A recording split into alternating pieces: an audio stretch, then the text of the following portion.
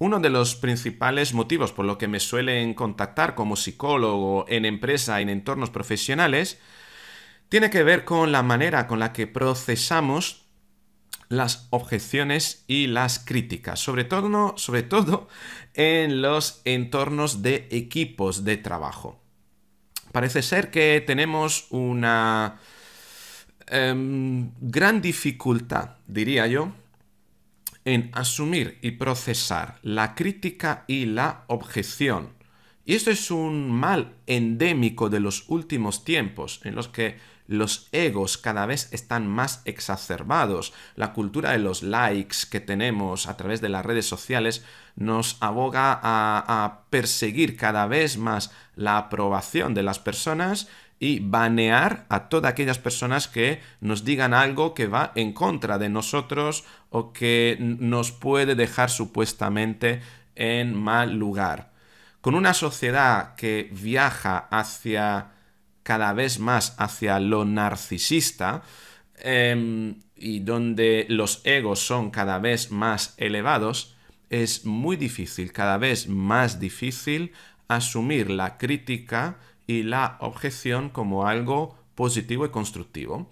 Y bueno, en este vídeo te va a dar precisamente las claves para volver a aprender algo que lo teníamos, lo teníamos de cajón, veníamos al mundo preparados eh, para asumir la autoridad, asumir las críticas, asumir y seguir normas, consejos, incluso cuando algo no nos gusta y que poco a poco, eh, eh, a través de pues, un tipo de educación cada vez más lascivo en ese sentido, bueno, hemos ido perdiendo por el camino. Entonces, no deja la objeción y la crítica de ser un elemento que nos provoca mucha incomodidad y que esa incomodidad nos provoca a su vez un desajuste emocional y una serie de eh, emociones eh, negativas o, que, que, no nos gusta vivir. Bien, y todo esto es eh, fruto o es causa, mejor dicho, de malestar en nosotros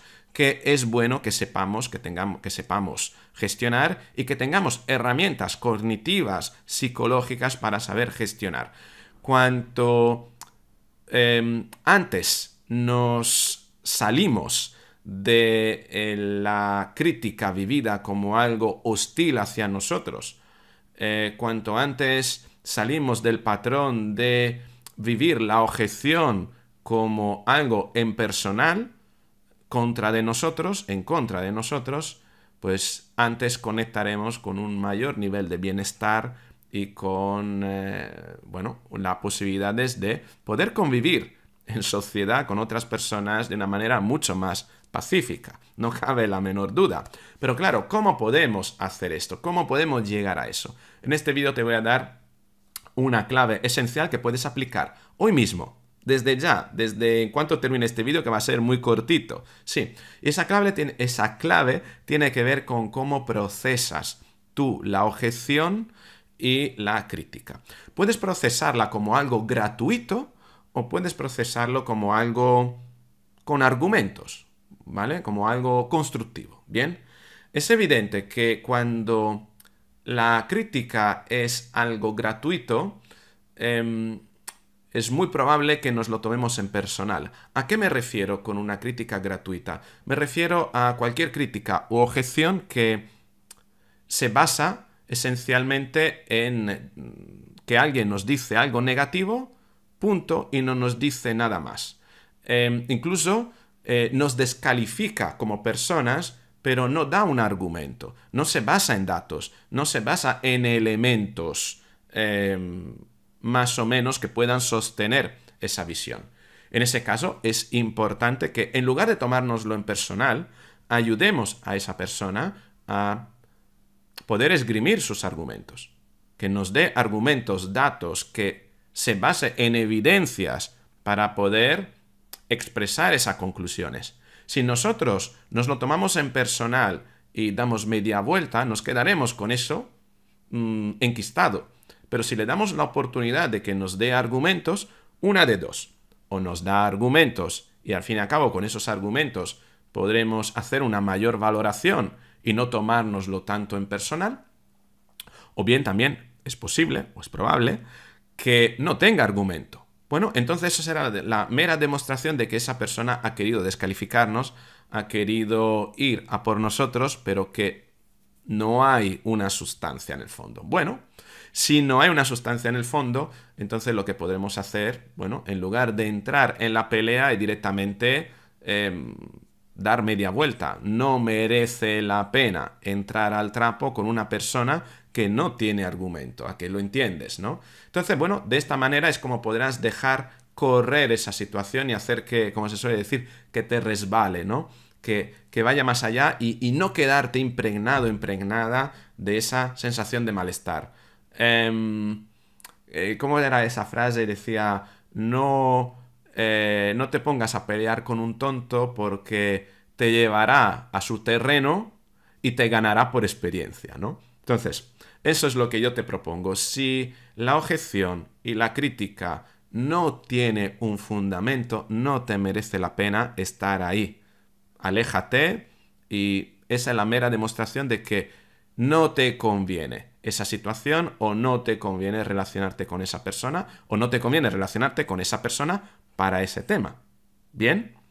Ese es un tema, ese es un elemento. Pero tenemos un segundo elemento que tiene que ver con valorar la objeción y la crítica desde una perspectiva constructiva, ¿vale? Es decir, esto lo puedes hacer claramente si hay argumentos, es decir, si es una crítica con fundamento, si se basa en datos, si te están si te están aportando datos y evidencias, entonces no te lo tomes en personal. Asúmelo como una oportunidad em, para tú mejorar.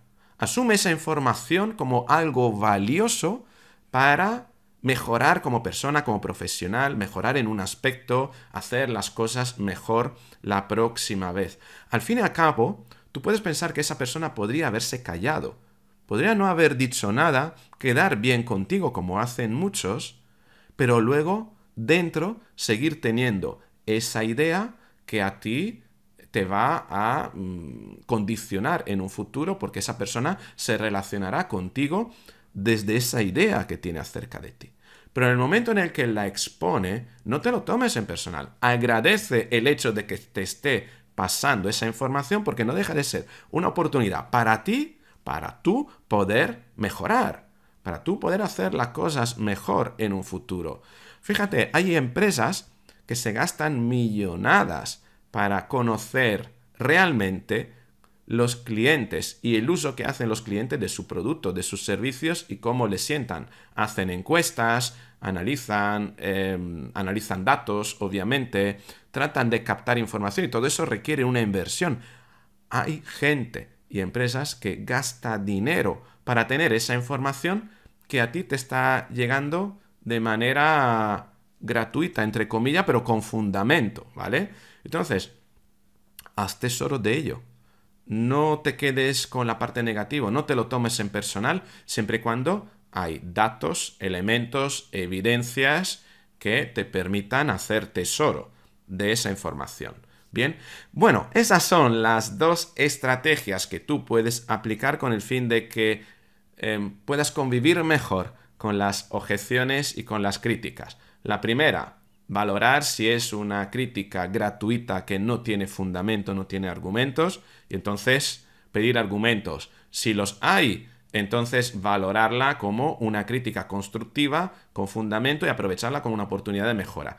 Si no hay esos argumentos, entonces no te merece la pena seguir ahí, no te merece la pena tomártelo en personal porque es algo que esa persona está haciendo, pero que Em, a ti lo único que te va a provocar es al final em, una espiral de malestar que pagarás con aquella persona y les estarás dando entonces razones para pensar lo que está pensando. Bien, esas son los dos, eh, las dos estrategias. ¿Cuál crees que te puede ayudar más en el entorno en el que tú estás? Escríbeme en los comentarios. Y como siempre, si estás suscrito, bien, perfecto. Si no estás suscrito, dale a la campanita. Bueno, suscríbete y dale a la campanita para recibir el aviso de cuando se publique este vídeo. Y, por supuesto, si no le has dado todavía like, dale a like. pulgarcito hacia arriba, porque así como ayudas este canal a crecer. Y comparte, comparte este vídeo con otras personas, porque estoy convencido que, que en tu entorno hay personas que se pueden beneficiar precisamente de los contenidos de este vídeo, de esta perspectiva sobre cómo tomarse las críticas y las objeciones de una manera que te pueda beneficiar. Con esto es todo, mi nombre es Roberto, estás en Psicología, Trabajo y Bienestar, ha sido un placer acompañarte hasta aquí, quiero darte las gracias también por haber llegado hasta este punto del vídeo y como siempre nos vemos en el próximo. Hasta luego.